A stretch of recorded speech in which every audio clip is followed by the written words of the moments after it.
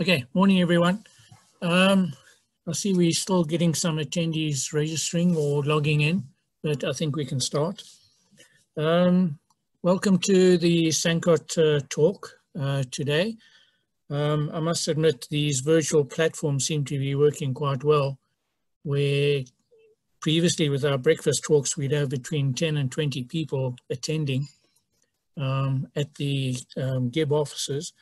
But with this virtual platform, I mean, Nick is in Dubai, but he's able to give the talk to us today.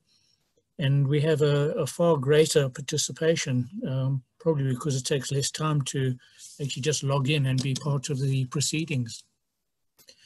Anyway, today's talk is, is being given by Nick. Uh, Nick has given us a few talks previously, um, and we welcome his contribution. Uh, he's basically a mining engineer um, and he's been with uh, BASF for, for quite a while. He's based in Dubai. Um, he's, sorry, with Master Builders Construction Chemicals Group in Dubai. He's been involved with uh, mining and shotcreting and waterproofing for a long time. And he's presented numerous um, papers at conferences and events around the world and he was instrumental in putting together the World Tunnel Congress um, in Dubai in 2018. Um, joining us as well is Jason Cooper. Jason is um, just joined um, the Master Builders Construction Chemicals Group. Uh, he's the local representative based in Midrand. So if any of you have any questions or need to meet with uh, Jason, um, we do have his particulars. So I think without much ado, uh, we seem to have about 38 participants at the moment, not counting the, the panelists. But Nick, if I can hand over to you. Thank you very much for giving the talk today. Thanks very much. Okay, excellent. So, um, yeah, we're going to talk a little bit about the recent developments in sprayed concrete and waterproofing. And um, I first want to just um,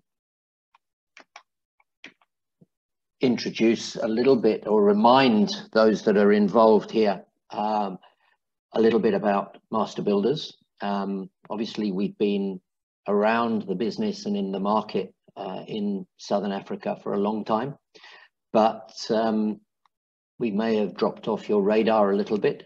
And certainly, we're a lot more than just sprayed concrete. Um, and hopefully over the next uh, coming years, Jason will be out and about introducing himself and uh, working together with many of you, both on the mines and in the tunneling projects coming up, um, looking at a number of areas of technology that we believe we can support the industry. So um, what I'm going to look at today is basically I'm going to try to give you a very quick overview on what we talk about and demonstrate and train in about five days in our workshops in um, in Switzerland, as you can see here, where we have up to 60 to 70 participants. So 38 is a good number today. Um, but obviously I'm going to go through it very quickly. And uh, hopefully there'll be some questions. And if at the end, I will leave Jason's contact details. If anybody wants to go into anything in more detail, then just get hold of him and we'll set something up to um, support you and provide you that details. So to start with, back to basics. I think everybody is familiar with sprayed concrete. But just to recap, it's basically cement, aggregates, and water. That's it. It is just concrete. But we put it in place by projecting it pneumatically onto the substrate. Now, spread concrete comes under very various different terms. Some people call it shotcrete, some people call it gunite, some people call it guncrete, some people call it whatever. Um, sprayed concrete covers all of that because at the end of the day, it is just concrete. So it covers both wet and dry. And there are, again, within there also two different generic types of uh, sprayed concrete. those without accelerators and those with accelerators. And I've seen a number of very good examples of um, jobs done without accelerators, both in South Africa and a lot in the US. But for pools and architectural features, single-sided formwork, permanent structures. And, but what we're going to talk today and what we're focusing on is generally rock support and their accelerators and the chemistry is important. So the dry method is very easy equipment. It's cheap and nasty. If you'll excuse my uh, phrase nasty, it's cheap and appropriate in some places and sometimes. The logistics is very easy and flexible, but it needs to be dry. Um, and that aggregate moisture content means that it's very, very difficult to control the water cement ratios. And the water cement ratio defines the strength, which means that your nozzle man defines the quality of the materials. And at the same time, he will also define the rebound. And in the dry mix method, that tends to be very high. If we're using fibers, which in rock support we want to, you will end up having extremely high levels of rebound, which in turn leads to an extremely high project costs as our volumes go over about 100 cubes, maybe 100 to 200 cubes. Now with the wet mix method, yes, it's more expensive. Um, you spend a little bit more money getting the base mix correct, and we'll look at that. Uh, we'll focus on that in the first half of the presentation but you are able to achieve a quality, repeatable concrete mix. And with the uh, developments, we can achieve very high strengths with low water cement ratios, and in turn, very good levels of rebound. So your overall volume of material, even though your base mix is higher, the reduction in the volume of material you require and the higher production rates and the use of fibers which stay in the mix, and you'll see a little bit later why that's so important, actually leads to overall lower project costs. So the wet mix is what we're going to be focusing on today. And shotcrete, sprayed concrete, is just concrete.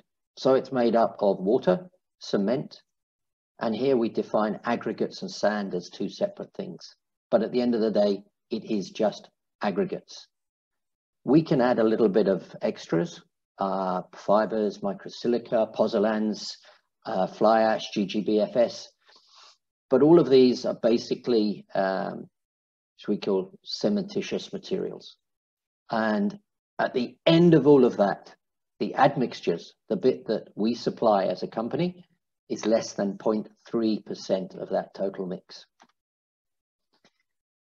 Now, Normally, when I present this, I ask the question, what do people think the most important part of a shotcrete mix is?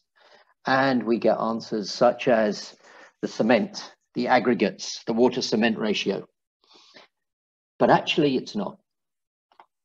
70% of the mix is aggregates. And by default, although that may be the cheapest component, it is by far and away the most important the quality of the aggregates and the time we spend getting the right aggregates all the way around will provide an improved or otherwise concrete mix.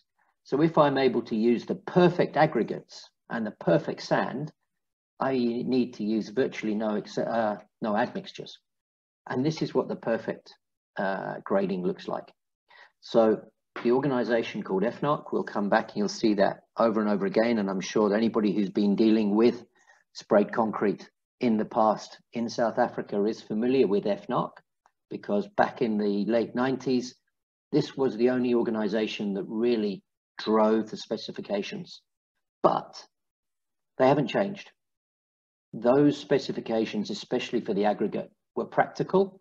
They came from years and years of experience from those countries, typically Scandinavia, where high production, wet mix concrete of a high quality was done on a regular basis.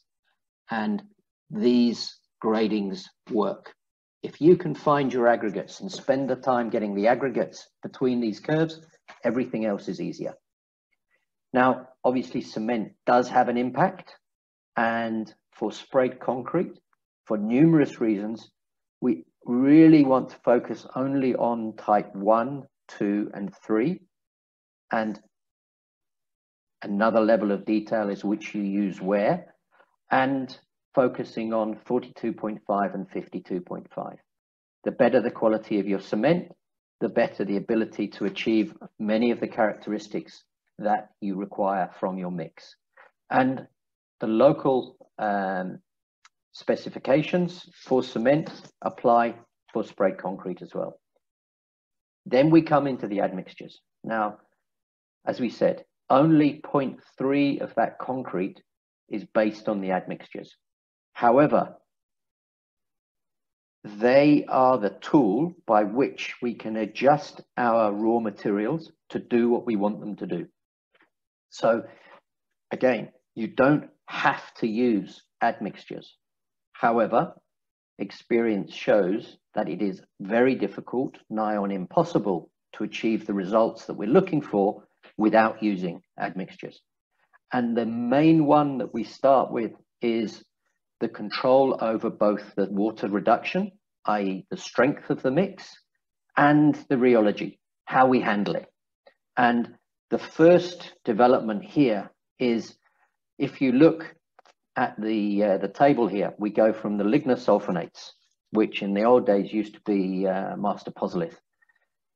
They moved into the master Rheobuild. So when I first arrived in South Africa, we were supplying master Rheobuild to all the mines. If I remember rightly, it was Master Rheobuild 3610. And then the PA uh, PCEs came in, uh, polycarboxylate acids, and uh, esters, sorry. Um, and that developed into the Master Glenium, where we had excellent water reduction, really good water reduction. But the rheology, that was a little bit more difficult. And the developments over the last five to 10 years the improvements in the base concrete mix has been developed through products such as Master Ease, which gives us not only good water reduction, but also excellent rheology retention. So now this is a little bit of a confusing uh, table, but I want you to just focus on those, uh, those arrows which are darker and pointing straight up, because those are the ones which have the biggest impact on the characteristics of the concrete. And really those are the ones that we're focusing on to provide us with high quality, durable, permanent concrete for the future. Another important admixture, which isn't new, but it's always worth remembering because especially as we get into longer tunnels, and I'm thinking Lesotho, um, tunnels in remote locations, and those remote locations may be the underground logistics as well as the surface logistics. We need to have the flexibility. And by flexibility, what we're focusing on is to have everything we do with sprayed concrete related to rock support is about applying the concrete at the right time.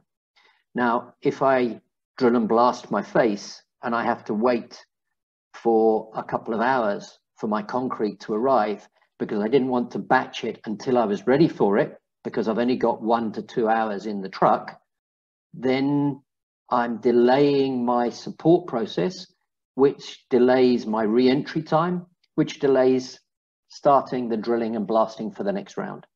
So we're always focusing on having the concrete waiting for the face rather than the face waiting for the concrete and the hydration control admixtures enables us to do that. From a rheology point of view, now we're looking at actually achieving the mix, but also being able to test that. So it's repeatable so that at the batch plant, we can achieve and check and make sure we're getting the right thing. And this is basic concrete technology. There's nothing fancy about this. Um, typically, the slump test is used in most ready mix and batch plants. However, personally, I prefer the flow table test. And just looking at this little video here, hopefully it plays okay for you all. Um, this is the slump table test because this tells me a lot more about the concrete than the slump test. If you look at this mix that you can see here, it's moving out in a perfect circle. Around the edge of that circle, there's no bleed, there's no segregation, there's no lumps in the middle. If I've got fibers in my mix, I can see very clearly whether there's any balls of fibers coming out and being displayed. So what I'm looking for is a mix that goes absolutely flat, goes to a width of between 550 and 650 millimeters, and provides me with an almost matte finish on the top. There's no bleed, there's no bubbles. It's You get a very good indication of the quality as well as the actual number of the spread. So that's looking at the base concrete and those developments have um, actually accelerated over the last 20 to 25 years. The change as the industry woke up and started to move to wet mix. Uh, I started my life in tunnels in the UK. Um, Terminal 5 uh, baggage tunnel was all sprayed using dry mix. And that was about 30 years ago now. So the change has come relatively quickly. And now that rate of change has accelerated even more. And as we see there, the reduction in the water cement ratios, the improvement of the rheology, looking at higher production rates, the use of fibers, and coming down to single shell systems, which in turn leads to the holy grail of sprayed concrete, which is permanent, sustainable sprayed composite structures. And we'll look at that a wee bit later. But first, I just want to highlight the benefits and the requirement for another component in this system, not necessarily changes, although developments are underway with this technology all the time, but is the use of fibers. And you see from that picture down on the bottom right hand side, um, that if you try to spray over mesh, you start building voids behind it. It's very difficult to do. Anybody who's sprayed at night or in low light in a tunnel will see the, uh, the rebound of aggregates coming off the mesh, sparking up. And we don't need that. Typically in hard rock, we want to be able to follow the substrate and um, we don't want to overuse the concrete. Again, it's all about minimizing rebound and focusing on reducing the total project costs. Um, and while mesh in theory may be cheap to cover a specified area, in practice, as ground moves, as uh, rock relaxes, um, as it's not placed exactly right, you also need to have uh, re redoing of it and your bolting pattern is defined by the mesh, not by the rock support that you require. Now, of course, with fibers, it's important that we quantify what we're getting. And although this is not so common in South Africa, I believe it is available on a number of sites. Um, typically, the uh, square panels were used a lot. But the ASTM C1550 is very easy and appropriate, especially from a quality control on site point of view, because you just need to spray the round panel. You don't need to do any cutting and you get a much more repeatable result. Now, these results can also be related directly to that EFNARC square panel and the, the results or the definition of the concrete that is used in uh, the European norms. Now, typically I would guess the, uh, although it's an ASTM standard, uh, that's only because the European norms were already full up um, and the inventor of the system or the, the process took it to the States and said, here, can you put a, uh, a test to this one? So the test work has been done to establish the relation between the two and a 2.5 factor has been established. So where you need a specification of E700 from the energy absorption class, that is 280 joules on the round panel test. And that's defined by the fibers. Now, this is where the continuous development is ongoing, and it's not something that I can give you um, just a uh, defined recent development because this is ongoing all the time. This doesn't stop. The fiber suppliers around the world are aggressively working against each other together uh, with the concrete um, matrix suppliers to find the optimum performance. And that opti optimum performance is defined by a very fine balance between the fibers pulling out and the fibers rupturing. And it's a, uh, a very close interaction between the concrete and the fibers. If your, your fibers are too high tensile and the low bond, then they just pull out of the concrete, doesn't do anything for them. If the fibers are too weak, but your concrete is too strong, then you just get a brittle rupture and it just cracks and there's no fibers left across that crack width, which is when they start doing their work. So what we're always looking for is to optimize the type and number of fibers and the concrete matrix that bonds them together. And of course, the concrete matrix develops in strength over time. So it also matters how quick that strength development is in our rock support uh, definition and at what time we're testing to achieve the performance criteria that we're defining our concrete by. And just have a quick look and remind ourselves of what happens if we don't put fibers in a concrete. Well, if we don't put fibers in a concrete, you get that blue line, plain concrete, at about uh, less than half a millimeter vertical displacement on a beam. It's gone, it's finished, it's cracked. And there is no more load being taken by the structure, by the matrix, no more resistance to the load. If we look at the small deflections, less than one and a half millimeters, then typically at the moment, developments are always underway, a steel fiber looks to be more attractive. But as we develop higher displacements and typically in harder rock, we have bigger displacements rather than uh, softer uh, weaker ground, you can see that the polypropylene fiber actually becomes far better and the total energy absorbed, so back to that round panel joule number, is much higher at a level of deflection than the, um, the steel fibers. So certainly focusing in South Africa, mining applications with deformation, uh, with higher deformations with load at depth, your load bearing capacity is higher and that leads to much safer mixes. Now, some of the work that we're doing within our organization is benchmarking the available fibers out there and uh, looking at all the different characteristics of what makes the performance work for rock support.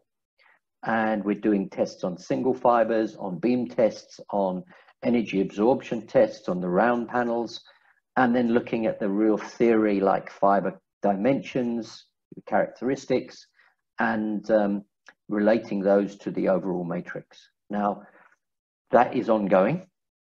Uh, one point I just want to highlight here is that whatever type of fibers we use, the number of fibers across the crack, i.e. the number of fibers in the matrix, not rebounded, is the defining factor to the performance of the material, whatever fiber you're using.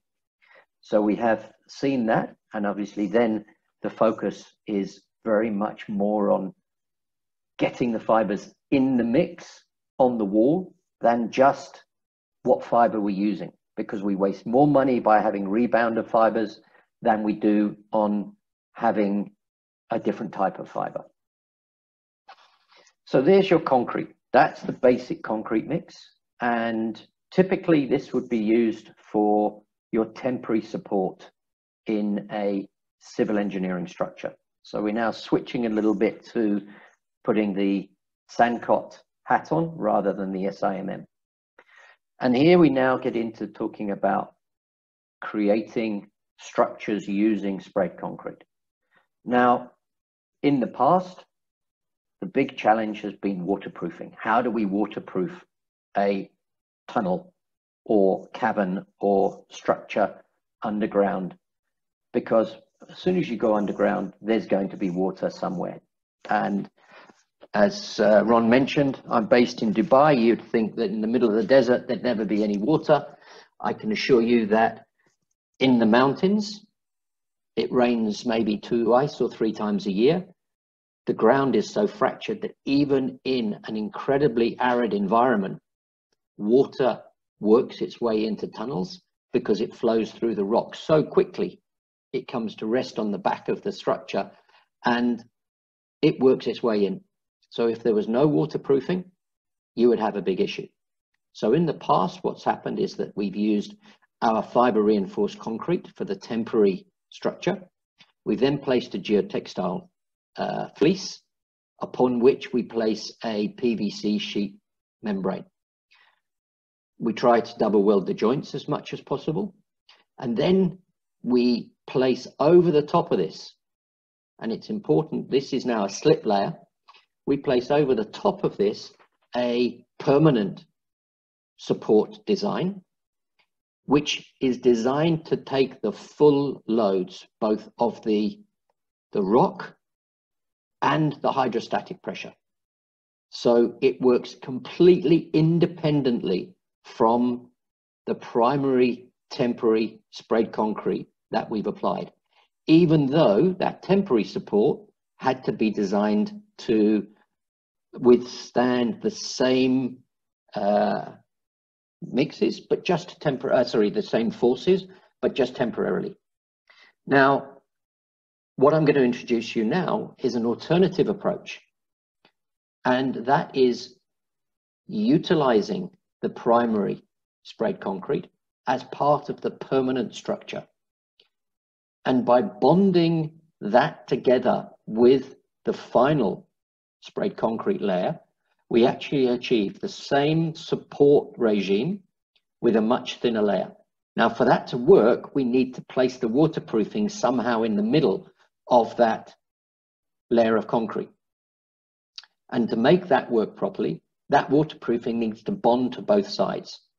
And to meet that demand, we've come up with a product called Master Seal 345, which is a double bonded system.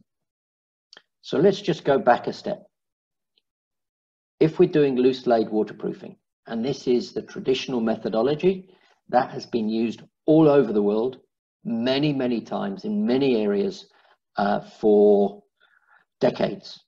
Uh, I think that uh, my colleagues in the industry who come with the yellow stuff uh, can go back 60 to 80 years references in some of the alpine tunnels. Now, this is not to say that the loose laid system with the drained detail, which you can see on the right hand side there, cannot be used or should not be used in certain environments. However, it doesn't need to be used in all. And you can see that you need quite a heavy piece of reinf uh, not reinforcing, sorry, that you need a heavy um, scaffolding arrangement to place the, uh, the waterproofing on the rock. And this offers a drain solution. So the water will flow freely through the geotextile layer, all around behind that uh, waterproofing membrane and down into the base. Now, if we've got a nice simple structure like that, it's easy to do. We can do all manual, uh, sorry, all mechanical welding with the machines and all the rest of it. However, not all tunnel structures are like that.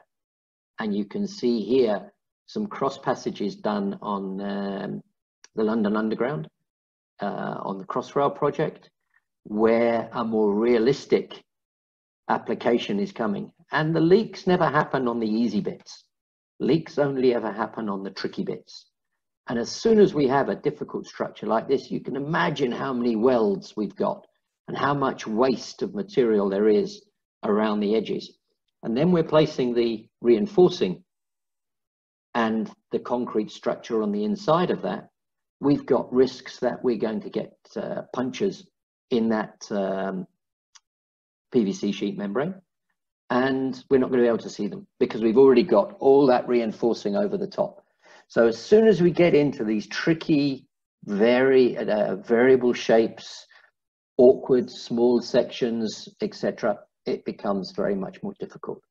Whereas with a spray, apply, a spray applied waterproofing membrane, you can apply that whole section, that whole detail in one go.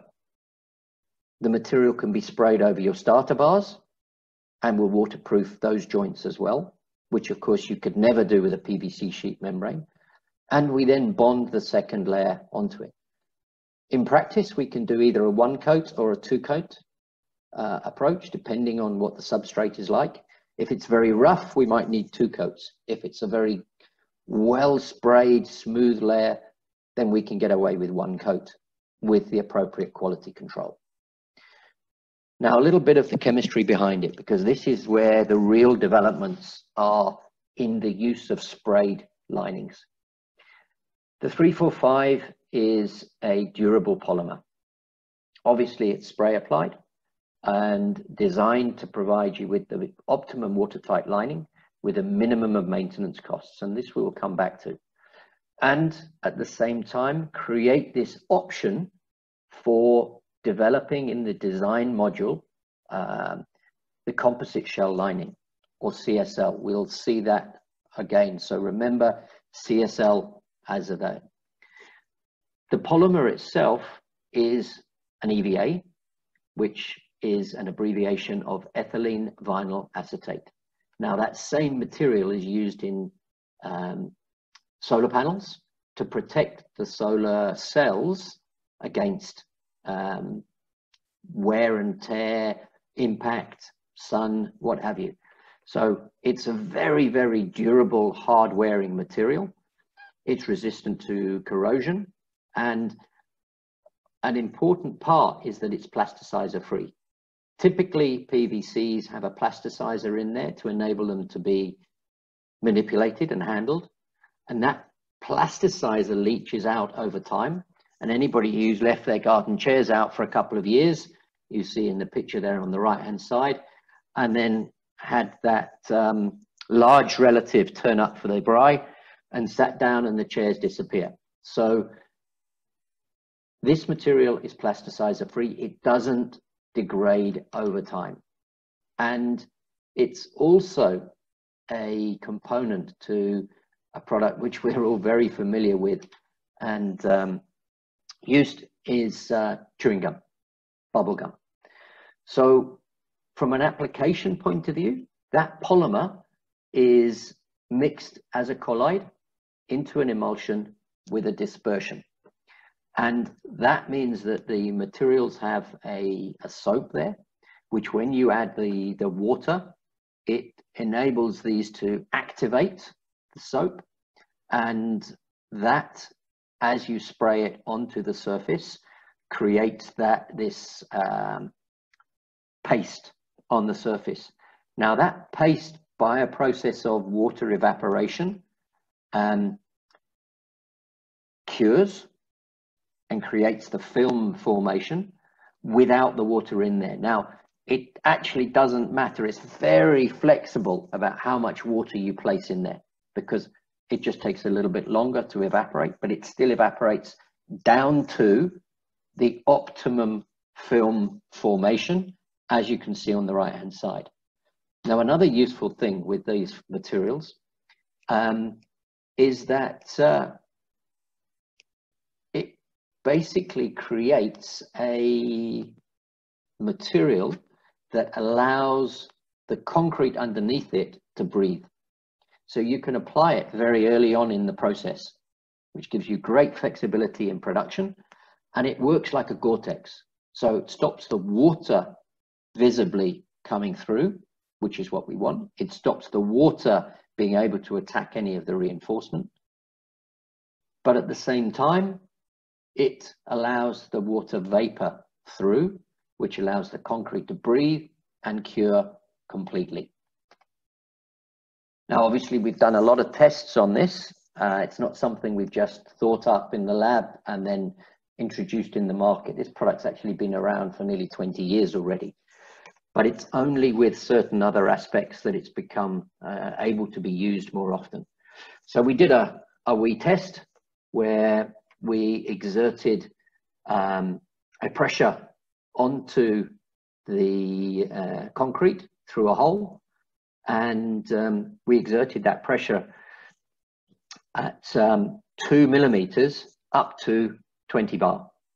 So with a bond of 1.2 MPa, it was able to withstand that 20 bar for 12 months, obviously trying to provide an accelerated um, weathering and extreme environment. Typically, we would uh, promote um, and achieve crack bridging of two and a half millimeters, which will depend on the thickness, just from a physical point of view. If you spray at two millimeters, you're going to get two millimeters crack bridging. If you spray it at three millimeters, you'll get just under three millimeters crack bridging.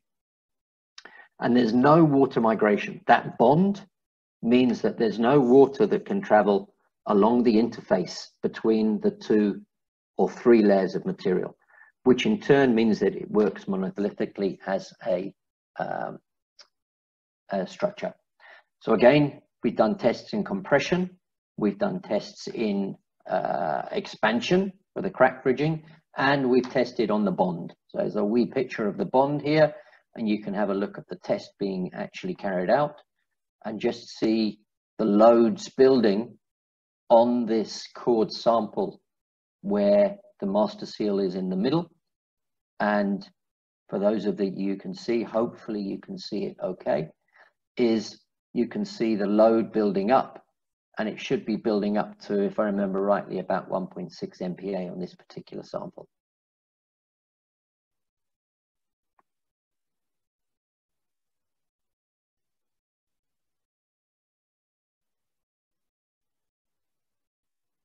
And boom, okay, and that's a failure.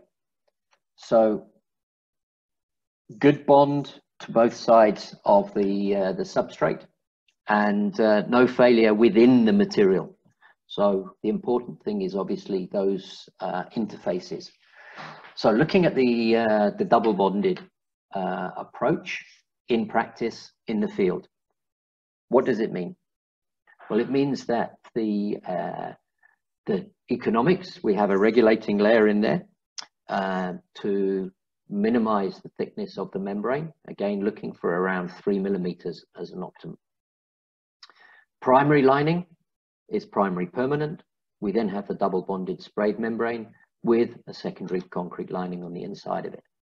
Just to have a look at the, the bonding, um, it's identical whether it be for sprayed or cast concrete because the uh, the bonding is both chemical and physical. So right down to the microstructures, as you can see here, the material um, links together with the concrete or smoothing layer applied onto the concrete.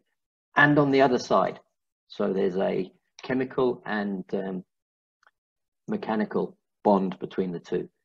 Now, from a water point of view, so this is why we're using this, not just for the mechanicals, but from the water point of view. If we use the unbonded system, now remember we said that the these are typically used as drained structures, which means that we let, or we're assuming we're going to have some water coming through our, from the rock, our temporary sprayed concrete lining, and that will go into the geotextile and that geotextile will allow the water to, to migrate anywhere behind the PVC sheet membrane. Now, as the guys are putting the reinforcing on or somebody just walked past or you're using steel fibers, you may end up with a small leak in the PVC sheet membrane. Now, on the other side of that sheet membrane, you don't have a bond to the concrete either. You may have some uh, potential for migration on the other side. And that means that the water then fills up the entire void between the cast concrete and the uh, PVC sheet membrane and basically searches for any defect such as a cold joint or even a planned construction joint between the um, or within the concrete, the cast concrete. And you'll see these layers, uh, these drips, these leaks in many, many PVC sheet lined tunnels. Now the concept behind the spray applied is that yes, you've still got the same concrete, sprayed concrete lining initially, but that sprayed concrete lining is permanent within the design, not temporary. And if the water comes through there and it reaches the, um, the membrane, then it's only if the membrane is damaged at that point that the water can get through the membrane. But once it's through that membrane, there's no uh, migration on the other side either. So it's only if there is a leak through the permanent secondary lining that that leak will actually come out into the tunnels. And the beauty there is that we're able to identify exactly where that weak point is and not only repair it on the intrados of the tunnel, but through basic injection techniques, we're able to chase that leak all the way back through the primary concrete lining and back into the rock and seal the leak very, very easily. And effectively with a couple of liters, maybe not even a liter of um, low viscosity acrylic resins. Now, this technology has been uh, adopted in a number of areas around the world.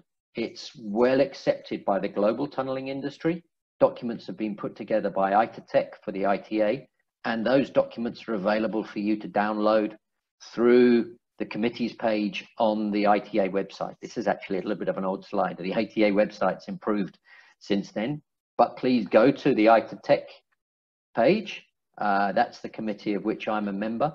And look at the documents there. There's a number of documents there.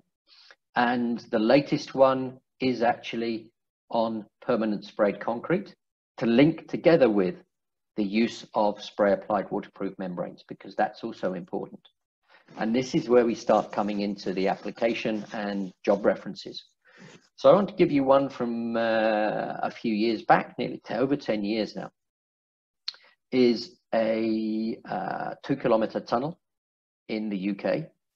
Um, it's around the water table, so it wasn't heavily underwater, and they, but it was an environmentally sensitive area.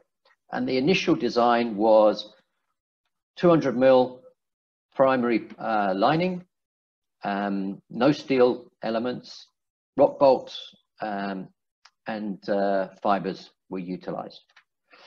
And that's what it looks like. Now, within that uh, process, we introduced the Master Seal 345 concept. And the process they followed was had a look at it through a value engineering workshop and they quantified the benefits and it looked good. Obviously, at the end of the day, somebody decided that they could save some money on this. So they went through the process, site trials, and into construction.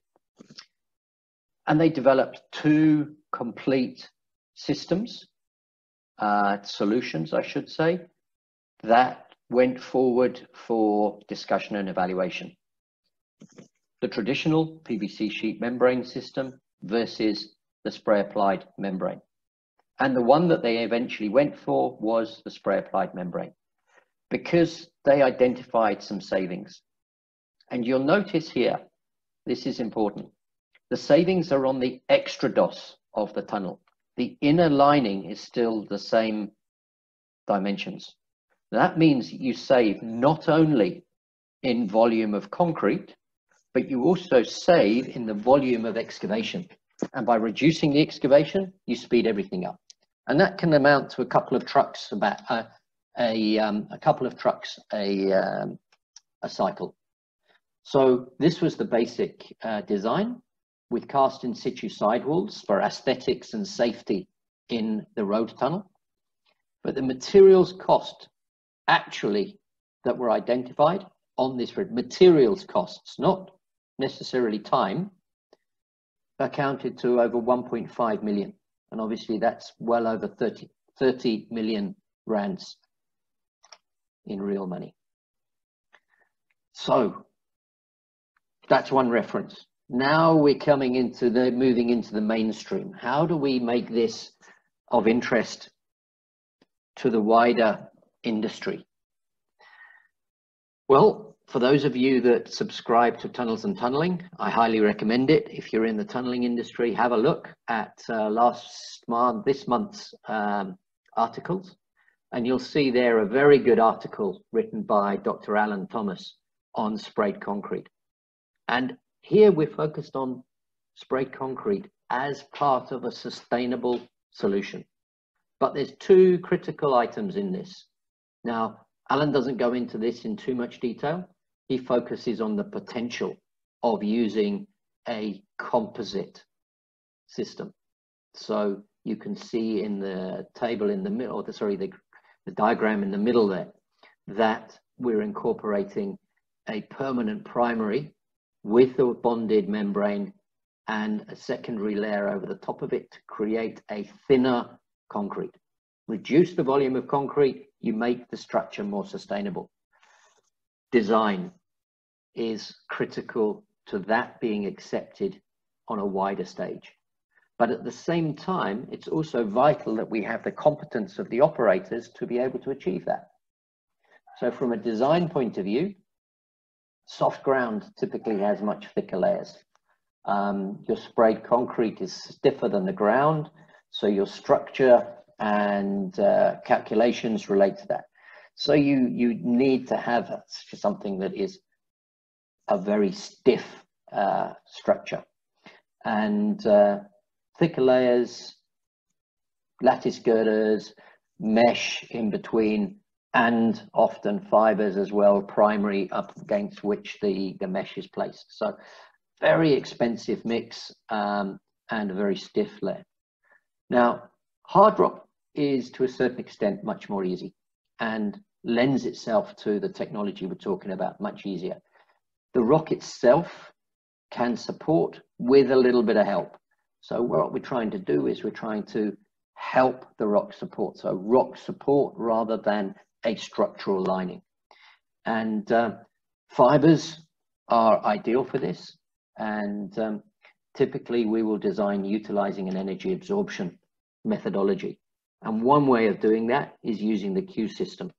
And you'll notice at the bottom of this particular table, which is obviously a whole book worth of information jammed into one uh, graph, is that the E numbers down at the bottom indicate the performance of the sprayed concrete for the various ground conditions, evaluated from the geology back to the concrete. An E700 or 280 joules from the round panel test is the ideal performance um, and covers most situations at various varying thicknesses. And that enables us to develop and create these permanent sprayed concrete linings. Can be used for metro stations, can be used for roads, can be used for metro running tunnels. The requirements are the same and the design methodology is in there for the permanent linings. But what is more difficult is this composite lining. And here we've had to go and do a little bit of research. So first of all, we know that the composite shell lining um, is it's a relatively simple structure, but the concept is difficult to get over. So to actually get into the designers and to um, help them understand how this works and to enable them to then be able to put that into the data and the tools used for design took a little bit longer. So the concept, as we say, is the interaction between three, three layers. One stiff, one flexible, the next one stiff. And we know that there is load sharing capability between them.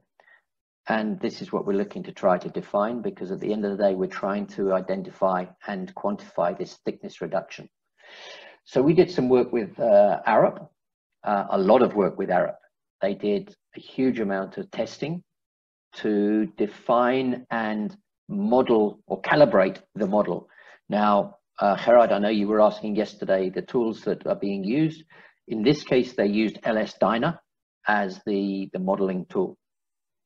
And they, by a process of evaluation on notched beams and shear tests on cores, we established the data to input into the model to create the, um, uh, the results. So this is some of the result, the, the data, um, and you can see that the modeling from LS-DYNA, once those characteristics have been put in, matched very closely to the actual results that were coming from things like the panel, panel tests.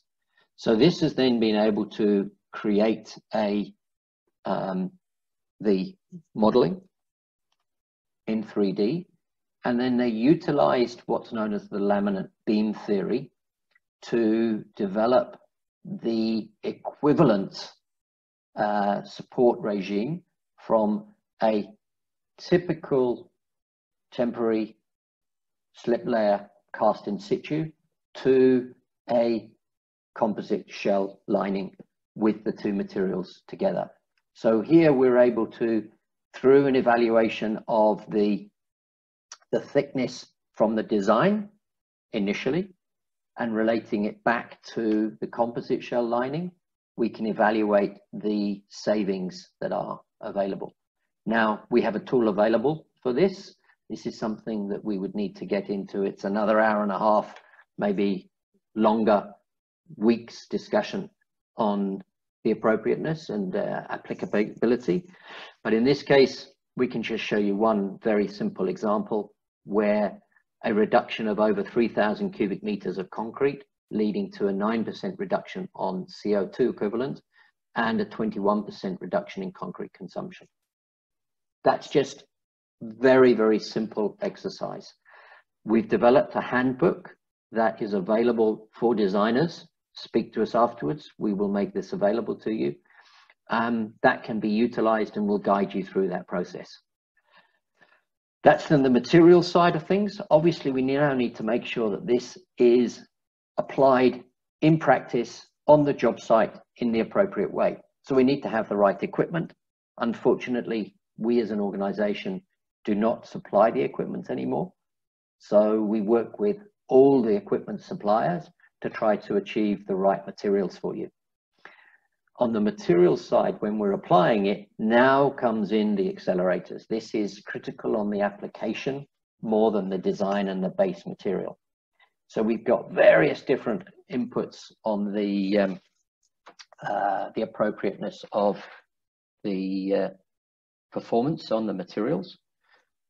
We would recommend and promote the alkali-free accelerators.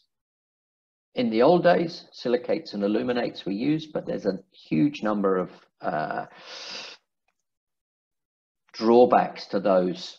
Um, and from a two very big ones, one is health and safety, but also the final strengths. So the use of those materials for permanent works just doesn't work. And in fact, they're banned in a number of countries. But there are a huge range of alkali-free. The one that probably most familiar with is SA160. It's not the only product that we have, but it's a very robust and uh, usable material all over the world. And you can see in those pictures there the increase in ettringite formulation without accelerators and with accelerators within a 10 minute period. And that enables us to build up really thick layers if we needed to. Although recommended, it's not, uh, not, not recommended to build up those sort of thick layers. So we need to be able to establish what, what's that doing? So we need to test those early age strengths. This is very important in our process to create a permanent CSL lining. Early age strength is also important because that enables us to also identify um, how strong my concrete is going to be over time, how durable is it going to be, and these different types of tests are done at different stages in the strength development. And we define strength development at the earlier stages, utilizing um, what's known as the J curves. And these curves were developed initially by Austria and then incorporated into the European guidelines EN 14487. And as you can see from the yellow, green, and red uh, highlighted areas, the different performances relate to different requirements on a job site. Now, in hard rock tunneling and hard rock mining, one of the critical areas there is this re-entry time. And the re-entry time isn't just that the concrete has reached a strength strong enough to start to help with the rock support, but it's also indicating that it's reached a strength that is able to hold itself onto the substrate and not drop off because drop off is just as dangerous as um, the rock failing. And drop off comes through typically overspraying thicknesses through leading or from the operator's skill levels. Now, here is where we get into training because you wouldn't let your operators drive a truck without having a license. Yet we let the operators define the rock support in our tunnels and mines without a license. So it's very important that we have certified and qualified nozzlemen. And this little spraying example of the round panels, where you can see that the layers on those panels are very flat, very smooth, and exactly to the standards, which is 75 mil plus minus, sorry, minus 5 plus 15. Those panels be, will be around 85 millimeters. I know from experience and from testing and from training this particular nozzle man that he is very accurate with spraying those panels. And that's an excellent way of defining how our how good our nozzle man is on site in practice. But how do I get him to that level? Now, the best way of training an operator is through virtual reality. Now, this is something that's coming in. It's something that can be done almost remotely in today's situations. And it's being incorporated on many big job sites and uh, governments around the world. For example, Swedish national standards now define it. EFNARC has a standard and projects in places like Australia uh, on the WestConnex, every operator had to go through a test on the simulator. So these um, simulator tests actually utilize the exact equipment. So whatever you're using on the different sites, the simulator can operate with those. So you can see here they're using the old Epiroc Meyco um, remote controls. And that's the, the equipment that they're training with. So I'm now going to just run you through the latest developments on the VR shotcrete, which incorporate also some discussion on the concrete strength development, because that is what we're trying to achieve. Now, the, oops, stopped it just a little bit late. There are a number of different versions available. So the limited version is one which we've put together for somebody who just wants to try it out and see whether it works for them. The EFNARC C2, so EFNARC developed the specification. They then moved into training. Initially, they trained the, the testers, so the nozzle man assessors, um, of which myself and my team are all qualified. But then they went on to go to EFNARC C2. C2 is a certification. It's the second uh, step in the process, driven by EFNARC, whereby a shotcrete nozzleman assessor provides some theory training to go with the simulator training. And then you've got SCOT, which is a an in-house um, site-specific. Oh, apologies. Let's go through the video again. My apologies. I've got to remember to stop the, the video. Okay. So the three different options here. You select your user, you select your equipment. As you can see, all the different types of equipment that is available. And in this case, we're looking at practice mode. And within the practice mode, we have a certain number of variables that are defined. We're trying to achieve 50 millimeters sprayed on the, the thing. Now here you can see the J-curves and the varia, the, the factors that will affect that.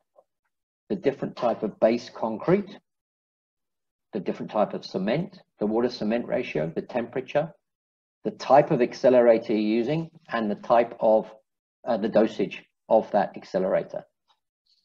So as those vary in this video, you'll see change the uh, plasticizer, change. We will go through and you will see the actual line of the performance of the materials varying according to how you change it. So as the accelerator dosage goes up, we use a different accelerator. Okay, dosage goes down, different type of accelerator has a different effect over different times with the concrete. So we can play around with these, low temperature, high temperature, whatever. And in time, as we go through it, you'll see the various things. So lower water cement ratio also reduces the performance. Lower water cement ratio improves it. So just looking at the different variables that we have here. And you can see here that we're reaching that one MPa with this one at about two hours. So now looking at this in practice, how does this work? Well, this is what it looks like when you're spraying with the simulator. And the operator here is using the boom nicely, very systematically, back and forth, very good control over thickness and um, good angle, good distance, very low rebound and what have you. And we can see that if you look on the left-hand side here, you can see 1.5 to 2 meters is the distance we're looking for. We're getting a 95% of that material sticking to the rock. Okay, angle as close to 90 degrees as possible, working at 12 cubic meters an hour with a 6% dosage of accelerator. Now, as we move on, of course, in reality, once we've sprayed overhead like this, we then don't want to go underneath it until it is safe. And we defined 1 MPa as when it's safe. And what we can do now using something that they've developed as time travel is we can evaluate that concrete over time. So you can see um, we've got, we can vary the re-entry strength, okay? That we've got the current time growing here we can look at it at different times, but through the time travel function, we can also jump ahead. And you can see the concrete curing and the strength development building up as the colors change. Okay, so now we're starting to get that color improving and we can vary again the different mixes, the different types of accelerator and see at a certain time the impact that has on the concrete strength development. And this is important when we start developing the training for not just the operators, but also the supervisors and the designer and the managers in charge of the job site. So as that uh, concrete develops its strength, we want to, or we can vary the different mixes, evaluate what impact that will have at different times, and we can then jump forwards. And as we jump forwards, we can then say, okay, at three hours, we can then go back in, put a second layer on, if depending on the thickness that I need to apply into my uh, job site based on the ground conditions and have a look at how that has an impact. Again, now it's back to yellow and the, um, the safety of being able to go underneath it changes. I get to six hours and it's ready to go and I can go back underneath it. So that's the concept in the training. It's also a good visual of the um, uh, what our partner Edveer is doing for training. And it really is, it's 3D, you're wearing goggles and you are totally immersed in that, that uh, process. Now this is um, uh, feedback from a trial, or sorry, a test, um, not a test, a training that was done in, uh, in Europe. Four nozzle operators, all experienced, all worked on shotcrete machines before. At the start of the test, the rebound levels were between 15 and 40%. That's experienced nozzlemen. So over the course of the test, the trial, sorry, the training, they sprayed nearly 210 cubic meters of concrete between them. Can you imagine paying for 200 and plus cubic meters of concrete just to train your operators? Well, that cost on its own is about 300,000 Rand. And then if you've got a typical mine, uh, typical job site or mine spraying 5,000 cubic, uh, cubic meters a year, with that average improvement of rebound from the start to the finish, that could lead to a saving of over 2.8 million Rand per year. Now, if you could achieve that saving, how much would you pay for the training? I'll leave that out there as a question to come back from the industry. And these trainings have been done all over the world now with certification, and that's a critical part of that. So I'm going to take you through two job references at the end here of two situations and examples of um, utilizing these composite shell linings. So the first one is on Crossrail.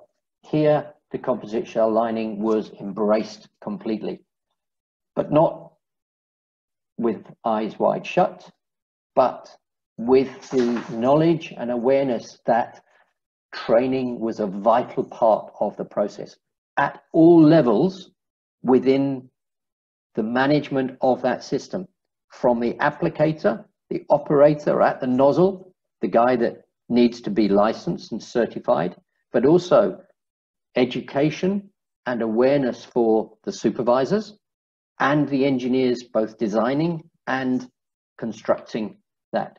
So on Crossrail, they developed their own training and underground academy called TUCA, which actually bought, I think, between four and six of these um, virtual reality training tools to enable them to teach the operators because they were using permanent sprayed concrete and spray applied waterproof linings. So as a square meterage, the um, square meters of spray applied waterproof membrane on the jobs was, I should actually have done a calculation beforehand, but well over 200,000 square meters of what in the end of the day is composite shell lining. But not just composite shell lining for the sake of doing it. Where appropriate, they also incorporated and utilized a, um, a dual system where we used a loose lay PVC sheet membrane on the invert, which is trafficked and is easy to apply and the concrete sits on top of it. So you lay and cast your invert and then you spray the sidewalls and the crown. And here's some jobs again where they've already cast the invert either on a sprayed or PVC sheet membrane. And you can see in all of these cases the difficult shapes that in the spraying over the starter bars for the final lining. spraying around corners for cross passages and the like, uh, entry caverns, varying shaped structures, very, very easily done using the master seal. So huge volumes done in London very successfully. The other example is one that's on Metro Prague. And here the client wasn't quite so uh, fully bought into the concept. So they had three main stations to excavate and they decided to go with two of the stations, a um, PVC sheet membrane, and on the final station, which was a bit more difficult, as you can say, the three-stage excavation here, it was more complicated. So the guys went, well, we'll do that with spray applied. So spray applied in some quite tricky areas, but still able to do it around the corners, around the edges, in those difficult uh, situations. But the results, what actually happened? Well, on those stations where they used the PV sheet membrane, for one reason or another, they had some challenges. And the, from BASF, Master Builders, we were called in to work together with the uh, owner to seal those leaks. So we know exactly how much it's cost to repair. We didn't supply the PVC sheet membrane, but we were asked him to repair it. So when we look at the costs of the square meter rate, you can see that the master seal was more expensive than both sites with the PVC sheet membrane. Not a lot, just a little bit, maybe what, 5 10%. But after the repair works, and I highlight that on some of those sites, the repair works are still ongoing. We're very happy about it because we are now making, uh, they've made what, 35,000, 50,000 euros, uh, sorry, yes, um, costs of um, the injection works, acrylic, polyurethane, injection, water stopping, and repairing even the compartmental, uh, compartmentalized PVC sheet membranes. So real clear indication of what can happen. So in conclusion, permanent sustainable sprayed linings are realistically possible in all regions, regardless of experience or skills. The material developments and uh, improvements over the years are there to enable that to happen. Design methodologies are there, both for hard rock and soft ground, but training is essential. And I would go one step further, training and qualification is essential. And that virtual training has proved time and time again to be not only cost effective, but actually saves your project, your site, your mine money over a very, very short period of time. So if you need any more information, you want to do site trials, workshops, you would like invitations to our um, training in Switzerland, site demonstrations, brochures, submittals, product developments, education, or the virtual reality training, please contact Jason. And together with our global team, we will set those up and look to support and develop your project in that direction. Thank you very much. Thank you, Nick. Thank you very much. Um, a lot of information and uh, a nice clear talk. And I've got some comments here uh, complimenting you on your presentation. We have about 10 more minutes before the webinar will actually come to an end. Perfect. There are a few questions. We can just run through them quickly. Um, the first one is the maximum size of aggregate that can be used in shotcrete. Okay. Um, Right, I've sprayed anything up to 16 millimeters on different job sites. Um, but I can tell you from practical, painful experience, anything over 10 millimeters will end up in rebound. So the recommended maximum aggregate size is um, passing a 10 millimeter uh, sieve on your um, back, uh, your um, uh, aggregate plant. So simple answer, 10 millimeters is recommended. If you're doing spray applied waterproof membrane, then we would also recommend that within the buildup of your primary permanent layer, you also incorporate like a smoothing layer where you would be using a four or five millimeter aggregate to reduce the consumption of the spray applied waterproof membrane. Okay, no, great. And then the EVA, what is the curing time of the EVA? Okay, it will depend on a number of environmental factors, of course. Um, we define whether or not it's cured ready for overspraying or overcasting through the um, shore hardness. So final shore hardness is about 80. Cured sufficiently to, to spray over is 40. And that will usually be achieved in typical uh, applications in about 12 hours. So, you know, you can have a very flexible um, process, 12 to 24 hours, no problem. But at the same time, it can also be left for several months without detrimental effect before you overspray. Okay. Which perhaps I can answer that question further down. That can even work outside um, and the material is UV resistant and you where you would use it on drinking water facilities um, you'd need to define whether or not you can accept just plain concrete in those drinking water facilities because it's not designed to waterproof from the inside out but rather the outside in okay great and then you said that the master seal 345 should be applied to primary concrete at an early stage to bond. And the question is how early? Um, no, it doesn't need to be uh, at an early stage. If I said that, I apologize. That was obviously me getting carried away. It needs to be applied to the primary concrete, um, but it can be applied at any age. So it's also been used very, very effectively in uh, refurbishment jobs, even on something like a brickline tunnel. Um, so um, we did a major refurbishment job on a project in Lebanon where the concrete was 20 years old. We scabbled the, the surface or hydromilled the surface back 10 to 15 millimeters and then sprayed the master seal over that and an inner concrete lining and it's worked perfectly. So um, but the question's still valid. How early? It can be as early as the concrete will take it. So the concrete, because of the Gore-Tex style waterproofing effect, the concrete can still breathe. Because the concrete can still breathe, the concrete can still cure and gain its full strength. So that early could be hours.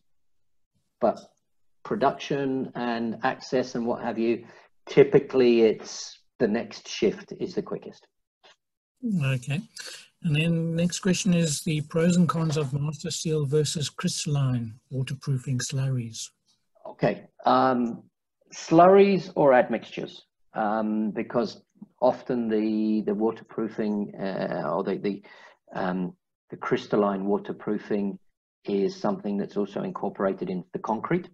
Uh, that's being done now because the industry is starting to look at the whole structure of the concrete and the waterproofing as being part of the watertight system, not just assigning that to one two to three millimeter section in the middle.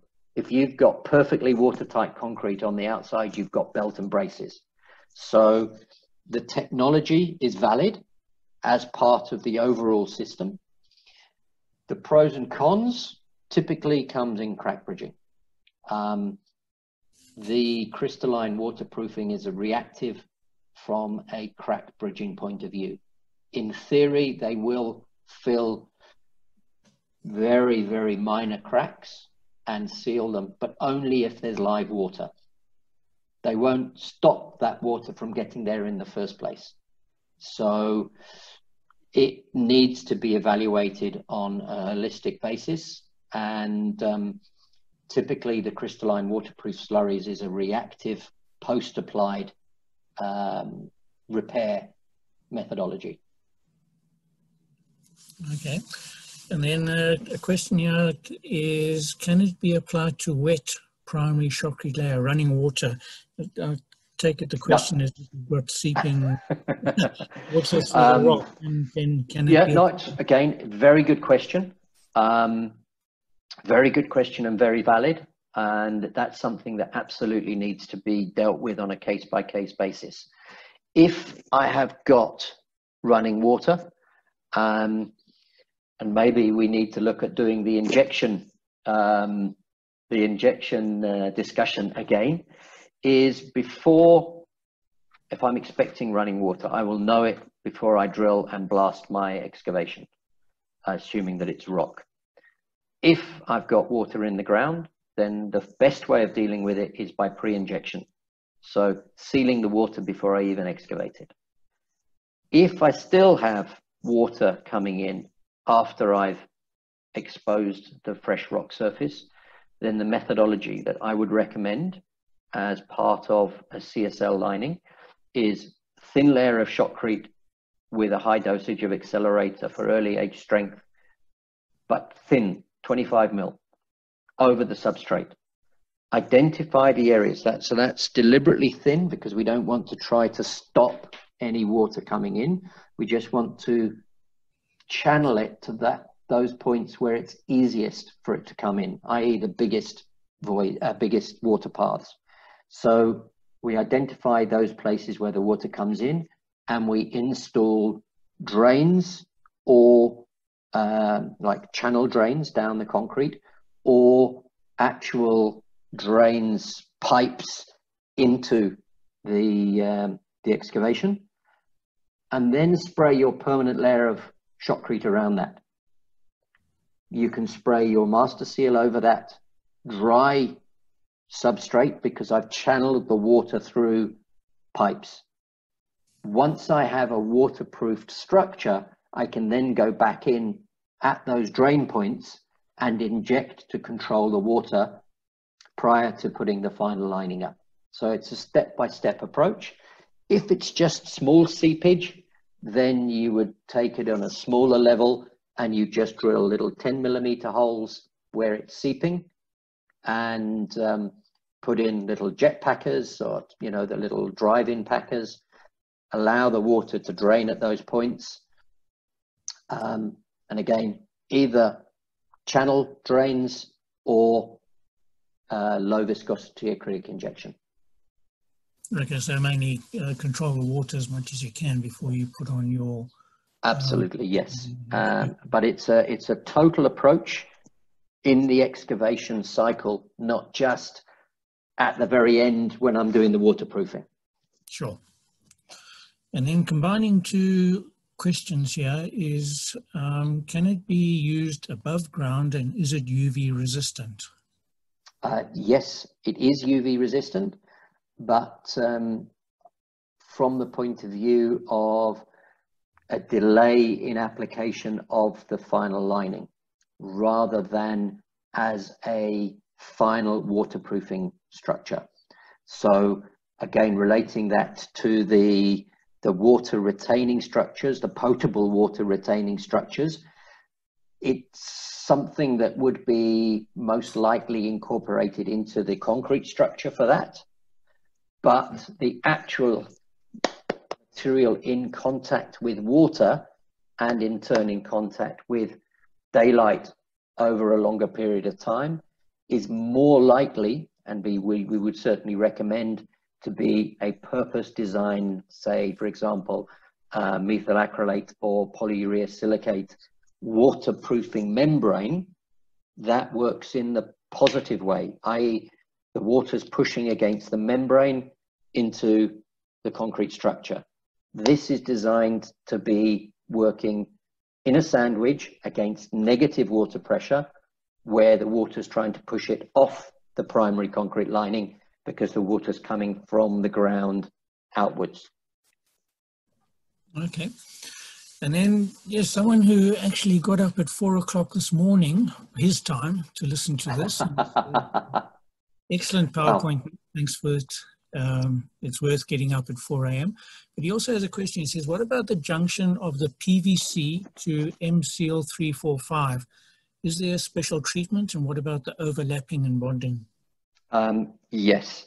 So we've established that the bond between the master seal and the PVC membranes is sufficient to also work as part of the prevent that migration of water past that joint because of course in the PVC areas you're going to have a um, uh, you're going to have migration of water and what you've got to stop is that migration getting behind the area where the master seal is and into the concrete and what have you. So that interface is defined. That's something that's um, typically, very quickly, would be a epoxy resin or epoxy mortar onto the concrete, a hydrophilic gel behind a uh, aluminium strip and then the PVC is welded to that aluminium strip. So that's like a, a PVC coated aluminium strip that is then bolted through the, um, the hydrophilic paste through the, the epoxy mortar into the concrete. And then the PVC strip is placed over the top of that. And then the master seal, typically at least 20 centimeters overlap is sufficient to create a bond and prevent any migration of water from the loose lay system with drainage into the double bonded composite shell lining. Um, anybody that requires that sort of detail, it is available and contact Jason um, on his uh, details that are up on the screen now. And through him, we will make available both access to the experts, um, but also the, the designer's handbook, which will cover the detail for that uh, particular requirement. Okay. Um, Nick, thanks very much. We're about to end because we're running out of time, but people have asked for your details and we will pass that on. Thank you very much for your time. Perfect. Thank you very much, everybody, for attending. And you've got our details there please get in contact us if you want to progress this or investigate these options further. Thank you very much. And we've had about, well, we've got 42 participants at the moment. I think we got up 50 odd earlier on. Fantastic. That's great. Thank you very much for sticking with us. Okay. Thank you, everyone.